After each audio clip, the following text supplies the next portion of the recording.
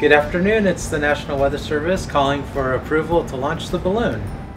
Granting the approval to launch. Liftoff. We have a liftoff. Went from waiting to balloon release. I'm Public Information Officer Lori Fowler in San Diego.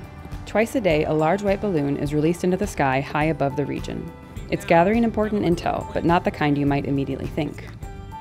The data retrieved by the National Weather Service's weather balloon is transmitted across the state to assist partners like the California Office of Emergency Services in making timely decisions during disasters. And when it comes to disaster response, up to date weather intel can be critical.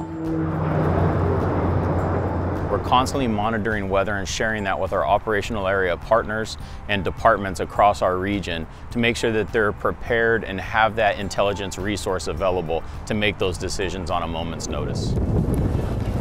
Because weather and fuel conditions are key ingredients in fire behavior, accurate and consistent insights help incident commanders make decisions to contain wildfires and save lives.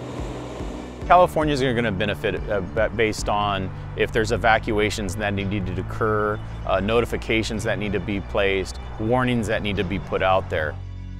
The weather balloon gathers four aspects of meteorological information air temperature, moisture, wind speed and direction, and pressure. This data is collected from heights of up to 80,000 feet. That information is transmitted in real time to a central weather station where analysts log the data.